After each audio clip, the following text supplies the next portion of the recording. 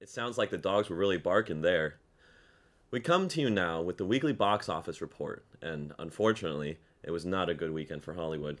That's right, Tom. The latest actioner from Crossbrand Studios and third entry in the Toadman franchise, Toadman Generations suffered a fatal blow at the multiplex, only making $40 million in its opening weekend. It is the lowest opening weekend for not only a Toadman movie, This movie was so motherfucking bad that I asked for my motherfucking money back. but any cross-brand movie within the last five years. I missed my sister's wedding for this. Not only did the movie underperform financially, but it also premiered to scathing reviews from both critics and fans alike. Now, folks, I've been known to defend these types of movies before, almost to the point where I felt like an outcast. But after seeing this, I think I'll stop shilling, thank you very much.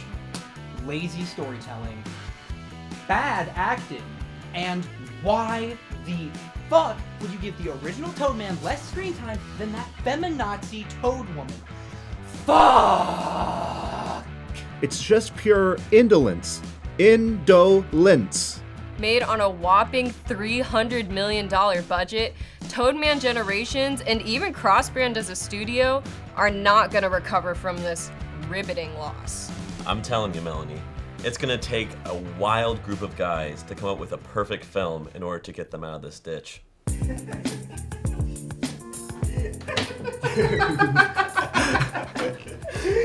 What a shit show. How the hell did they not realize that was a shit show?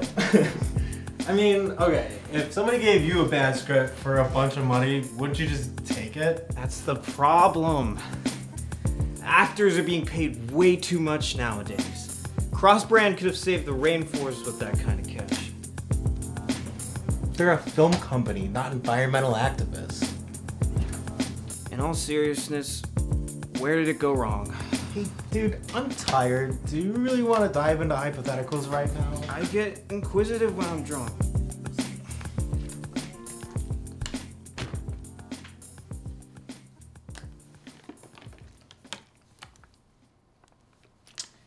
No, they should have done a reboot, a fresh approach, or wait even longer and make a legacy sequel to the original Toadman. Don't waste your money on contracts. Use your budget to hire talent, real creative talent. I'm not talking about a newcomer or Michael freaking Bay. Hire a good director with a huge following who will develop a fresh, different take on the character. Like Chris Nolan? Sure, if you want to bore your audience to death. By raising a hundred questions. Now, to make a bona fide hit, you need broad appeal. Something that gets people of every shape, size, color, gender, and pronoun into that theater. Careful. Right. People need to be careful. Create natural diversity. That way, anyone can be Toadman, and single white nerds can't bitch about it. Hey man, I'm all for discussing this tomorrow, but I have to get some coding done for class tonight. Coding. You and your digits. Aster, one of these days, you've got to see the bigger picture.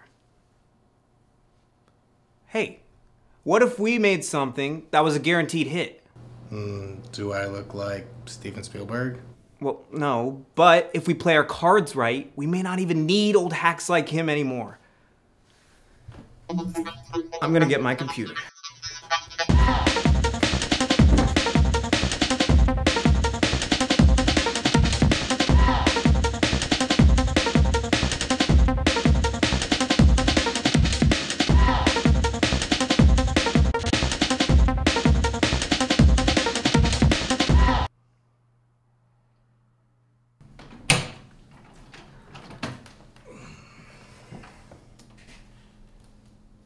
I don't know how to use my computer. Are you high on something? I'm high on brilliance, man. Sheer brilliance. Aster, what if we made a software that could make movies? I'm sure we could make that happen with help from the good people at Adobe. No, no, no. What if we made a software that could become the basis for making movies? Like Like, what if it could predict the critical and financial success for potential movies? Like an AI? An AI that develops movies. You know, that could work. What do normal people want when they go out to the movie? They want stars, genre, experience. Now, a good, successful movie needs good marketing. Darren. Darren, wake up. Ah. Dude, you have to see this.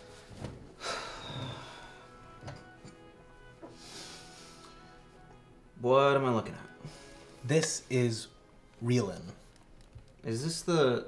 So, the coding project, once I turned it in, I retooled the code, I took your notes, and I collected some data. And? I completely restructured the algorithm. You made a wiki page? Give me a genre. Just name a genre. Horror. All right, now a director. Sam Raimi. Try think outside the box. Oh, shit. Um, Damien Chazelle. All right, now an actor. Ana de Armas. All right, we now have the potential revenue and critic score of the movie that you suggested, all at the push of a button. Dude, do you realize what we could make with this?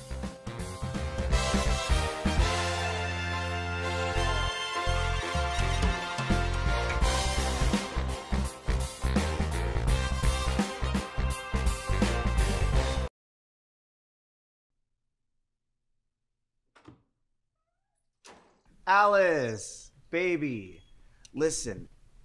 Hey, Aster. Alice? So we wanted to catch up and see if you had any upcoming projects because we. Hey, Aster, could you please tell this sorry son of a bitch to shut up? Alice. Darren, could you please stop talking for a moment?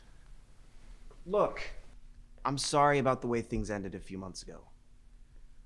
I was a shitty boyfriend, okay? You deserve better than me. But that's not what I'm here to talk about. Oh. So you're just gonna brush over an actual apology. Got it. I.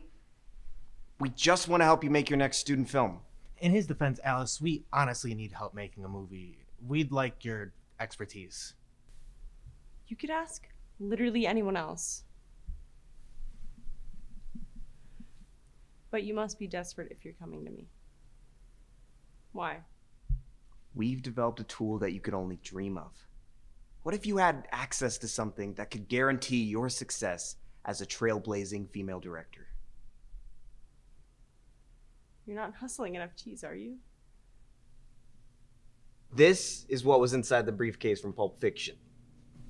Congratulations, you're just as funny as every film bro on campus. This is Reelin. It's a program that tracks the financial and critical success of every major Hollywood actor, film, and director. But this isn't just a discount IMDb. It's also, think of it as a fortune teller. In simple terms, you type in the variables under the director, actor, and genre categories, and the AI will predict the potential success of a film. I would explain it more thoroughly, but I know you're a film major, not a computer science major, so. Thanks. I had asked Aster design a sub-platform specifically for this student body.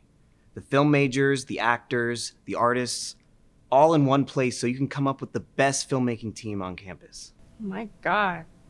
You're like if Mark Zuckerberg split himself in two. Except only one of you is a complete douche. If you can use this to make the perfect film, you'll literally headline student film festivals nationwide. You could be on the news and everything. Alice, the Master Taft. Maestro. Okay. Alice, the Maestro Taft. You're right, that flows better. You know what? I'll take you up on this, but only because part of me wants to see this blow up in your face. No offense, Aster. None taken.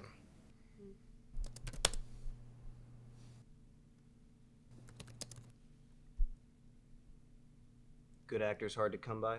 I'm weighing my options. Hold on.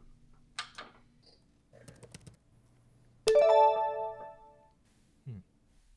Only a couple hundred views. It's less views than you have subscribers. I wonder what went wrong.